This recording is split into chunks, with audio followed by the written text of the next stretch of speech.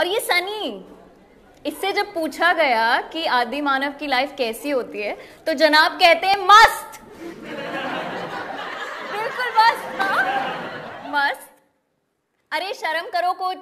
बच्चे नहीं हो अब तुम। यही टाइम होता है पढ़ाई करने का। टेंथ के बाद कभी सोचा है क्या करोगे? क्या करोगे टेंथ के बाद?